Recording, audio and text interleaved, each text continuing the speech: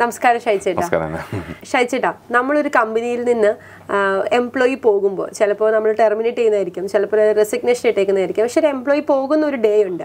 ഇതിനെ നമ്മൾ send off ഒന്നും ഫെയർവെൽ എന്നൊക്കെ പറഞ്ഞ് വള- വളരെ വേറെ വേറെ പേരുകളൊക്കെ ഇട്ട് വിളിക്കാറുണ്ട്. പക്ഷേ കഴിഞ്ഞ ദിവസം ഷായിച്ചേനോട് സംസാരിച്ചപ്പോഴാണ് ഞാൻ പുതിയൊരു ടേം കേട്ടത് എക്സിറ്റ് ഇന്റർവ്യൂ എന്താണ് ഈ എക്സിറ്റ് ഇന്റർവ്യൂ എന്താ ആ- ആ ഒരു പ്രോസസ്സ് എന്താണ് ചെയ്യുന്നത്? ഒരു എംപ്ലോയി ഒരു സ്ഥാപനത്തിൽ നിന്ന് പോകുന്നു. അതിപ്പോൾ റെസിഗ്നേഷൻ ആയിക്കോട്ടെ. ടെർമിനേഷൻ ടെർമിനേഷൻ ആയിക്കോട്ടെ. അല്ല വേറെ എന്തെങ്കിലും കാരണവശാലോ ആയിക്കോട്ടെ. റിട്ടയർമെന്റ് ആയിക്കോട്ടെ. റിട്ടയർമെന്റിന് പിന്നെ അത്രയും പ്രശ്നങ്ങളില്ല. കാരണം അതൊരു നോൺ ഇതാണ്.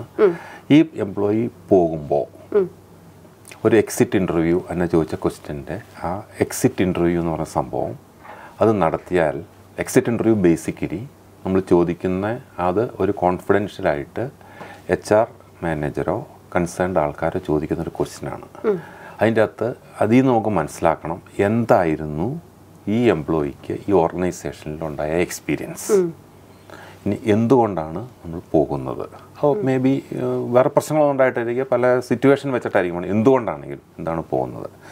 ഇവിടെയുള്ള പ്രോബ്ലംസൊക്കെ എന്തായിരുന്നു? ഇവിടെയുള്ള അഡ്വാന്റേജസ് എന്താണ്? ഇതിനൊക്കെ സൊല്യൂഷൻസ് എന്തെങ്കിലും തോന്നുന്നുണ്ടോ? വേറെ ആരെങ്കിലും ഇവർക്ക് ഒരു പ്രശ്നങ്ങളിലാണ് പോകണമെങ്കിൽ പോലും ഇതുപോലെ പ്രശ്നങ്ങൾ അനുഭവിക്കുന്ന ആരെങ്കിലും ഉണ്ടോ?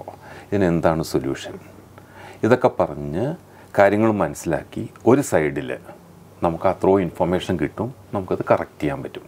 മറ്റേ സൈഡിൽ എംപ്ലോയി മറ്റോ ഈ യാ, ഈ എംപ്ലോയി നമ്മുടെ ഒരു ബ്രാൻഡ് അംബാസഡറാണ് അടുത്ത സ്ഥാപനത്ത് പോകുന്നു അല്ലെങ്കിൽ എവിടെ ജോലി ചെയ്തതെന്ന് ചോദിക്കുന്നു.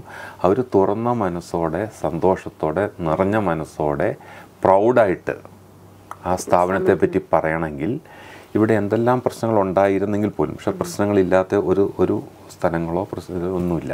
ആ പ്രശ്നം എങ്ങനെ ഹാൻഡിൽ ചെയ്യുന്നുള്ളതാണ് ഇമ്പോർട്ടന്റ് അപ്പോൾ ഇവിടുന്ന് ഹാപ്പി ആയിട്ട് പോകുന്ന ആ എംപ്ലോയിയെ ഹാപ്പിയാക്കി വിട്ടാൽ ലാസ്റ്റ് മൂമെന്റ്സ് ഹാപ്പിയാക്കി വിട്ടാൽ. അതിന് വേറെ ഇന്റർവ്യൂ മാത്രമല്ല വേറെയും വഴികൾ ഒത്തിരി ഉണ്ട്. ഇതെല്ലാം കൂടെ കൂടിയിട്ട് ഹാപ്പിയാക്കി വിട്ടാൽ ഗുണം നമ്മുടെ ഒരു ബ്രാൻഡ് അംബാസഡറാണ് പോകുന്നത് അടുത്ത സ്ഥലത്തേക്ക്.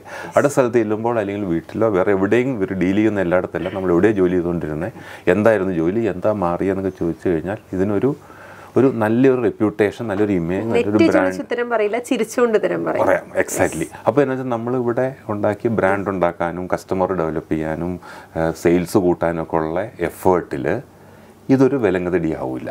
കാരണം ഇൻസൈഡ് ആയിട്ട് നമ്മൾ പറയുകയാണ് ഇതൊരു ഗുഡ് കമ്പനി ടു വർക്ക് ഇനി ഒരു ഒരാൾ ജോയിൻ ചെയ്യാൻ പോകുന്നു. ഞാൻ ആദ്യം പറഞ്ഞ മാതിരി ഈ നല്ല ജോലിക്കാരെ കിട്ടുക എന്നുള്ളത് വലിയൊരു ചലഞ്ചാണ് നമുക്ക് ജോലിക്കാരെ കിട്ടും റൈറ്റ് ആൾ കിട്ടുക എന്നുള്ളത് ഒരു ജോയിൻ ചെയ്യാൻ വരുന്ന ഒരാൾ എന്തെങ്കിലും കാരണവശാൽ റെഫറൻസിൽ അവിടെ ചോദിച്ചു കഴിഞ്ഞാൽ ഇനി ഇന്ന പ്രശ്നങ്ങൾ പറഞ്ഞാൽ അപ്പോഴും കമ്പനിക്ക് മോശമാണ്. ഇനി ഞാൻ അതിന്റെ അകത്ത് റെഫറൻസിൽ പറയാം. നമ്മൾ പ്രോബ്ലംസ് മുഴുവൻ ഉണ്ടാകുന്നത് പല കേസ് നമ്മൾ കണ്ടിട്ടുണ്ട്. മാനേജ്മെന്റിന് നല്ല വിഷനുണ്ട് നല്ല കൾച്ചറുണ്ട് നല്ല വാല്യൂസ് ഉണ്ട്. അത് എംപ്ലോയീസിലേക്ക് എത്തിക്കണമെന്നുണ്ട്. എൻഡ് വരെ. വലിയ ഓർഗനൈസേഷനിലേക്ക് പക്ഷേ ഇതിന്റെ മിഡിൽ ലെവൽ ആൾക്കാരുണ്ട്.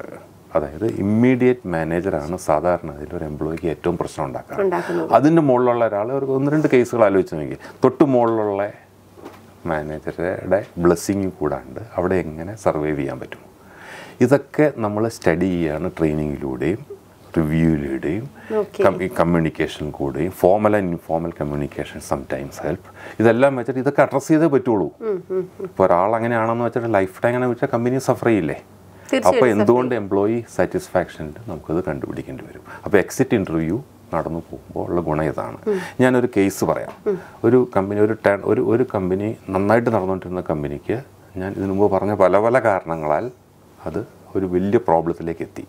വർഷങ്ങളോളം സമയത്ത് ശമ്പളം കൊടുത്തുകൊണ്ടിരുന്നതാണ് ഫെസിലിറ്റീസ് കൊടുത്തുകൊണ്ടിരുന്നതാണ് അവിടെ കുറച്ച് വർക്കിംഗ് ടൈം മാത്രമേ ഇച്ചിരി ബുദ്ധിമുട്ടുണ്ടായിരുന്നുള്ളൂ. ഇച്ചിരി റിമോട്ട് പ്ലേസിലാണ്. പക്ഷേ എന്തോ അവിടുത്തെ മാനേജ്മെന്റിന് ടൈം വേണം എന്നുള്ള അതായിട്ട് അത് മാത്രമേ നോക്കുമ്പോൾ ഒരു പ്രശ്നമുള്ളൂ.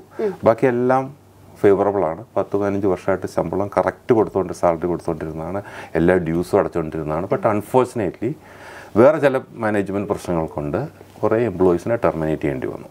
ഒരു നാൽപ്പത് ആൾക്കാരോളം ട്രെയിൻ ടെർമിനേറ്റ് ചെയ്യേണ്ടി വന്നു. ഒറ്റയടിക്ക്? ഒരു ഒരു പ്രോസസ്സിലൂടെ. അതിന് വൺ ഓർ ടു മന്ത്സ് ഇങ്ങനെ ആൾക്കാരെ ഗേൽപ്പിച്ചത് അത് ഞങ്ങൾ അവിടെ ചെന്ന് നോക്കുമ്പോൾ എന്റെ മാനേജ് ഡയറക്ടറോട് സംസാരിച്ചപ്പോൾ ഞങ്ങൾക്ക് ഏറ്റവും അത്ഭുതപ്പെട്ടത് പതിനഞ്ച് വർഷമായിട്ടുള്ള ആൾ പോകുമ്പോഴും ലാസ്റ്റ് ആ മാനേജിങ് ഡയറക്ടറെ ആ ഒന്ന് കണ്ടിട്ട് പോകാനുള്ള ഒരു അവസരം അവിടെ കൊടുത്തില്ല. കൊടുത്തില്ല. ശരിക്കും ഒരു ഗതികേട് കൊണ്ട് ഗേറ്റ് കടന്നു പോകേണ്ട ഒരു സിറ്റുവേഷനാണ് വന്നത്.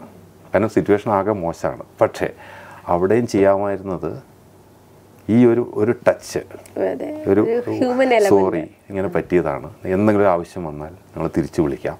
നിങ്ങൾക്ക് ജോലി എന്തെങ്കിലും റെഫറൻസ് വന്നാൽ ഞാൻ നിങ്ങളെ ഹെൽപ്പ് ചെയ്യാം. എന്നൊക്കെ പറഞ്ഞ ഒരു സന്തോഷത്തോടെ വിടുന്നതിന് പകരം പതിനഞ്ച് വർഷം വർക്ക് ചെയ്ത ആൾക്കാരൊക്കെ വളരെ കണ്ണീരും കൈയായിട്ടാണ് പോകുന്നത്. നിങ്ങളുടെ സെറ്റിൽമെന്റ് ഇപ്പോൾ പൈസ ഇല്ല ഞങ്ങൾക്ക് സെറ്റിൽ ചെയ്യാം. ഒന്ന് ഒന്ന് ഹെൽപ്പ് ചെയ്യണം. നമ്മൾ അതിലേക്ക് പോവുകയാണ്. ഒന്ന് വളർന്ന് ടേൺ അറൗണ്ട് ചെയ്യാൻ പോവുകയാണ്. എന്നൊക്കെ പറഞ്ഞൊന്ന് വിട്ടാൽ ഈ നാൽപ്പത് പേരുടെ അടുത്ത് എന്തൊരു എന്തൊരു സന്തോഷമായിട്ട് ഒരു പോക്കൊണ്ടനെ. ജസ്റ്റ് ആലോചിച്ച് നോക്കും. ഒരു ലൈഫ് മുഴുവൻ അവിടെ സ്പെൻഡ് ചെയ്തതാണ്. പതിനഞ്ച് വർഷം എന്ന് പറയുന്ന പോലെ അതിന്റെ crucial precious energetic healthy time അവിടെയാണ് സ്പെൻഡ് ചെയ്തത്. എന്നിട്ട് ഇങ്ങനെയുള്ള ചെറിയ ചെറിയ കാര്യങ്ങളിലൂടെ അതും ആ- ആ കമ്പനിയുടെയും പ്രശ്നം അവിടെ എച്ച് ആർ ഡിപ്പ് അവർ കേട്ടിട്ട് പോലുമില്ല എച്ച് ആർ ഡിപ്പാർട്ട്മെന്റ് അതാണ് അതുകൊണ്ടാണ് അതുകൊണ്ട് തന്നെയാണ് ഇങ്ങനെ സംഭവിക്കുന്നത്. നമ്മൾ നോക്കുമ്പോൾ അങ്ങനെ ഒരു സംഭവമേ അവിടെ ഇല്ല. ആ രണ്ടൊക്കെ ഈ സ്റ്റാറ്റ്യൂട്ടറി അക്കൗണ്ട്സ് ഒക്കെ എന്ത് ചെയ്യുന്നുണ്ട് അതാണ് എച്ച് ആർ എന്ന് പറഞ്ഞിരിക്കണം എന്നല്ലാണ്ട് കോർ ഫംഗ്ഷൻ ഉണ്ടായിരുന്നെങ്കിൽ ഇത്രയും സംഭവിക്കില്ലായിരുന്നു. ഇതൊക്കെ ഇതൊക്കെയാണ് ആ അതിന്റെ ഒരു ഞാൻ അതിനോട് യോജിച്ചൊരു പോയിന്റ് എന്റെ ജീവിതത്തിൽ നിന്നും പറയുകയാണെങ്കിൽ ഒരു സ്ഥാപനത്തിൽ ഞാനൊരു ആളെ കണ്ടപ്പോൾ ഞാൻ അദ്ദേഹം ആ അദ്ദേഹം വർക്ക് ചെയ്യുന്ന സ്ഥാപനത്തിലെ ഉടമ നമ്മുടെ ഒരു സുഹൃത്താണ്. അപ്പം ഞാൻ ഈ വ്യക്തിയെക്കുറിച്ച് വളരെ നല്ല മനുഷ്യനാണല്ലോ എന്ന് നമ്മുടെ കാഴ്ചപ്പാട് അങ്ങനെയാണ്. അദ്ദേഹത്തെക്കുറിച്ച് പറഞ്ഞപ്പോൾ ഈ എംപ്ലോയി ആയിരുന്ന വ്യക്തി എന്നോട് പറഞ്ഞു ഞാനവിടെ പതിനഞ്ച് വർഷം ജോലി ചെയ്തിട്ട് ഞാൻ അവിടെ നിന്ന് ഇറങ്ങുമ്പോൾ ഞാൻ എക്സ്പെക്ട് ചെയ്തത് അദ്ദേഹം അവിടെ വരുമെന്നും എനിക്കൊരു ബൈ തരുമെന്നുമായിരുന്നു പക്ഷെ ഞാൻ അവിടെ നിന്ന് ഇറങ്ങിയപ്പോൾ കണ്ണീരോടെയാണ് ഇറങ്ങിയതെന്ന് പറഞ്ഞു. അത് അദ്ദേഹത്തിന്റെ ഫേസിൽ നിന്ന് നമുക്കൊരു മനസ്സിലാകും അദ്ദേഹത്തിന്റെ ഒരു വേദന എത്ര അതെ അതെ അതെ. പക്ഷെ ആ വാല്യൂ മുകളിലുള്ളവർക്ക് ഇല്ലാണ്ടായി പോയി ജസ്റ്റ് ആലോചിച്ച് നോക്ക്.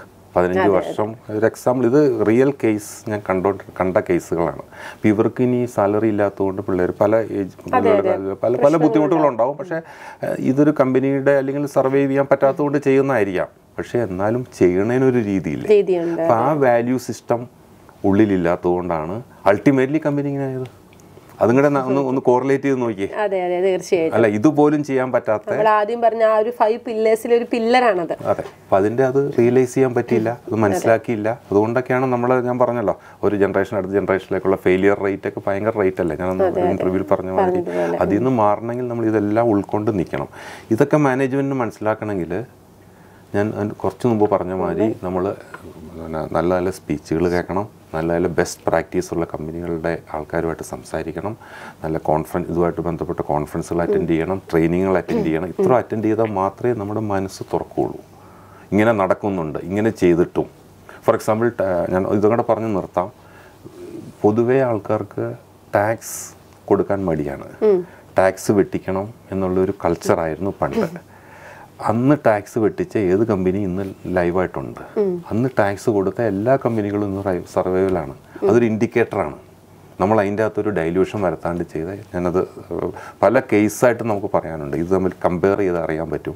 ആര് കംപ്ലൈ ചെയ്തിട്ടുണ്ടോ? ആര് ടാക്സേഷൻ ഗവൺമെന്റ് ലോസ് കംപ്ലൈ ചെയ്തിട്ടുണ്ടോ? ഈവൻ ഇഫ് അപ്പാരന്റ്ലി ഇമ്മീഡിയറ്റ് ബെനിഫിറ്റിന് വേണ്ടിയിട്ട് കുറച്ച് സേവിങ് പോലെ തോന്നും. പക്ഷെ അൾട്ടിമേറ്റ്ലി ലോങ് റണ്ണിൽ അതിന്റെ എൻഡിന്റെ ഡിഫറൻസ് ഇങ്ങനെയായിരിക്കും. അതൊക്കെ തന്നെയാണ് നമ്മുടെ ഈ ഈ കമ്പനി നടത്തിപ്പിലും എച്ച് ആറിലും എല്ലാം നടക്കുന്നത് പിന്നെ എച്ച് ആറിന്റെ സ്പെസിഫിക് ഇതായിട്ട് ചോദിച്ചുകൊണ്ടാണ് ഞാനിത് ഒന്ന് കമ്പയർ ചെയ്ത് പറഞ്ഞത്. ഈ ഒരു ടേം ഉണ്ടല്ലോ ഈ എക്സിറ്റ് ഇന്റർവ്യൂ എന്ന് പറഞ്ഞാൽ അതൊരു പുതിയൊരു ടേം ആയിരിക്കും അല്ലെങ്കിൽ പുതിയൊരു അറിവായിരിക്കും ഞങ്ങളെ പോലെ വളർന്നു വരുന്ന സംരംഭകർക്ക്. അപ്പോൾ തീർച്ചയായിട്ടും ഞങ്ങൾ അത് ജീവിതത്തിൽ അത് പ്രാവർത്തികമാക്കാൻ പറ്റുമോ എന്നുള്ളത് ഒന്ന് ട്രൈ ചെയ്ത് നോക്കട്ടെ. അത് എക്സിറ്റ് ഇന്റർവ്യൂ നടത്തുക മാത്രമല്ല അതിന്റെ ഒരു ഒരു ഇമ്പാക്ട് നമുക്കൊരു പ്രാക്ടിക്കലായിട്ട് അത് സ്റ്റഡി ചെയ്തിട്ട് ആ, ഒരു പ്രശ്നം ഇത് പ്രശ്നം ഒരു ഒരു എംപ്ലോയി അവിടെ വർക്ക് ചെയ്തുകൊണ്ടിരിക്കുമ്പോൾ പല കാര്യങ്ങളും വന്ന് പറയാൻ ബുദ്ധിമുട്ടുണ്ടാവും. പറഞ്ഞാൽ പോലും റൈറ്റ് സെൻസിൽ എടുക്കണമെന്നില്ല. അപ്പോൾ എല്ലാവർക്കും ഒരു ഒരു ജോബ് സെക്യൂരിറ്റിയുടെ പ്രശ്നം ഇനി അതിന്റെ പ്രശ്നം പല പ്രശ്നങ്ങൾ കൊണ്ട് ഇതും കൂടെ എത്തില്ല. പക്ഷേ ഈ സമയത്ത് അവർ പറയൂല്ലോ അതെ. ഇത് റിലീവ് ചെയ്ത് പോകാൻ നേരത്താണ് പറയണേ. അപ്പം തീർച്ചയായിട്ടും പറയാം. അത് നമുക്ക് എക്സിസ്റ്റിംഗ് ഇതിൽ അങ്ങനെയുള്ള പ്രശ്നങ്ങൾ ഉണ്ടോ ഇല്ല എന്നുള്ള അവർ ഓപ്പൺ ആയിട്ട് പറയുമ്പോൾ നമുക്ക് അതിവിടെ കറക്റ്റ് ചെയ്യാൻ പറ്റില്ല ചിലപ്പോൾ ഈ എച്ച് ആർഒ അല്ലെങ്കിൽ ഈ ഒരു മാനേജ്മെന്റോ അറിയാത്ത പ്രശ്നങ്ങളായിരിക്കും. കാണും കാണും. പക്ഷെ അത് സീരിയസ് ആയിട്ട് എടുക്കണം എന്നുള്ളതാണ് എന്റെ പോയിന്റ് നടത്തി അത് ആ റിപ്പോർട്ട് വെച്ചിട്ട് കാര്യമില്ല അത് ഇംപ്ലിമെന്റ് ചെയ്യാനുള്ള നോക്കണം. അങ്ങനെ കഴിഞ്ഞാൽ നമ്മൾ ആ കമ്പനിയുടെ ഗ്രോത്തും സസ്റ്റൈനബിലിറ്റിയും കൂടുതലായിട്ട് പോവുള്ളൂ അപ്പോൾ താങ്ക് യു സോ മച്ച് പുതിയൊരു ടേം പഠിപ്പിച്ചതിന് പുതിയൊരു രീതി പഠിപ്പിച്ചതിന്. അപ്പോൾ ഞങ്ങൾ എല്ലാവരും ഇതൊന്ന് ട്രൈ ചെയ്ത് നോക്കട്ടെ. തീർച്ചയായിട്ടും